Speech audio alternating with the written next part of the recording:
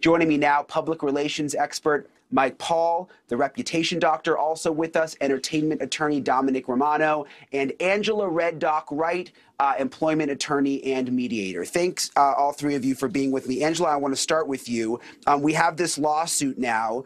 Uh, can they actually prove, Angela, uh, that the person who was in that costume was in fact racist? That's a great question. So in the in the concept of employment discrimination and racism, there are two ways to prove racism. There's either through direct evidence, um, i.e., someone says something that's racist, does something that's clearly racist, or there's indirect evidence, or what might we might call implicit bias. And so I think this would fall into the second part of that analysis of whether there is um, it was an indirect effort to ignore those young girls. Um, at the risk of engaging with other young people that were not of color at that park. And what it may not have been intentional, but the question is based on how we are wired in society, did the person behind that mask, behind that costume, possibly have some type of implicit bias that carried over in terms of the way that the costume, the person behind the costume engaged with those young girls? I'm curious, Angela, what do you think? I mean, you've seen the videos. What what do you take away? Yeah, um, I mean, when you look at it at first blush, um, what I see is him wave, actually looking at the young girls and then waving them off. And I understand that the park has responded saying, no, no, he was responding to another family or that perhaps he was trying to get them off the yellow line because it was dangerous. But I think when you look at it closely, it just it reeks of you know possible shunning those young girls off whether it was because of their race or another reason perhaps the cost the person in costume was just tired or thirsty or frustrated or what have you but definitely what i see is him looking directly at those young ladies and shunning them off with his hand Mike, you are in crisis management. That's what you do. Um, how do you think Sesame Place ha- has done handling all of this? Because they've they've been in the headlines for days now. Well, I, I want to clarify something because there's one of the videos that's missing. So let's make sure that everyone at home understands where we're at. The video that you showed was from the very first instance that made it to TV. However, the video that surfaced today was from an incident that happened on Father's Day, which I believe was June 18th. And that's now tied to a class action lawsuit seeking $25 million and more. Um, that video showed a young girl by the name of Kennedy, uh, who is age five, by the way. I've got a son that's age five. And, uh, you know, I felt her pain when I saw the video. Uh, it appears to be the allegation is that it was tied to racism, and it appears to be so. But what the, what we need to understand here is there's now two videos of two separate incidents that have allegations claiming very similar things that the characters at Sesame Place avoided hugging or high fiving or coming in contact with little black girls thus far, which is a horrible, horrible yeah. thing if that's true.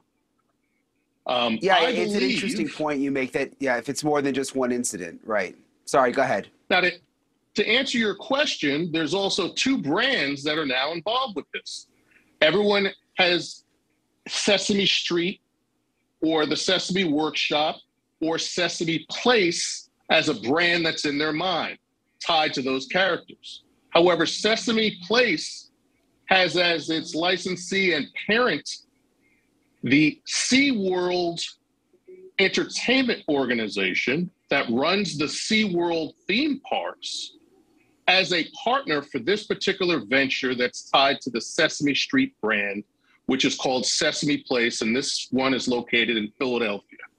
Now, why does that become important? You've got federal law you have to deal with, you have state law that you have to deal with, you have a community within the Philadelphia region that obviously has dealt with a lot of racist situations before. And we now have a class action lawsuit that's saying not only these two incidents, but the attorneys are saying anyone else who has a video, anyone else who's experienced this, going back to 2018, please contact us. So if they're my client, the corporation. I'm very concerned. I'm saying, yeah, what are the chances that there is another video? What are the chances? I can tell you already. Well, we're going to see. Yeah, I mean, really I mean, well, well, now that it's yeah, now that it's out there, certainly if there are more videos, I'm sure people will start coming forward. But based on what Mike said, Domenic, legally speaking, if it turns out that they can prove that this was racist. You, you, heard Mike talking about the parent organizations, and there's all these different facets to it. Who would who would ultimately be held responsible? Would it be the organizations? Would it be the person in the suit? Would it be both? Potentially, yeah. I think I think he's absolutely right.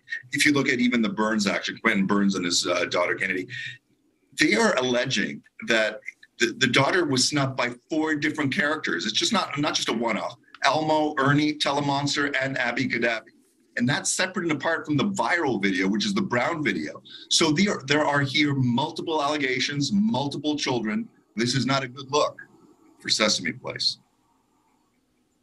Angela, what do you make of the 25 million? Uh, oh, sorry. Go ahead, Mike. What, what were you going to say?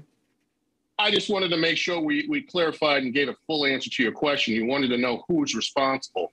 SeaWorld Entertainment the theme park organization, that's the parent company, Sesame Place, and the four individuals for that class action lawsuit are John Doe's one, two, three, and four.